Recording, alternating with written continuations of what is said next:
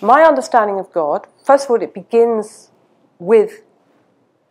having, having been and still being, in a sense, a Marxist socialist. So, um, for me, the idea of that there is a being that somehow controls what we do is not my understanding of God. Um,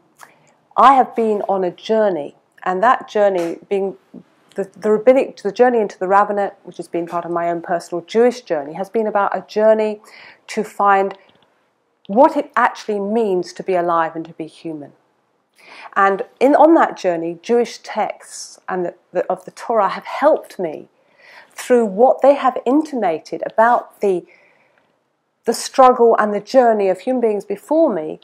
to make sense of what it is to be alive and to have a sense of our essential humanness.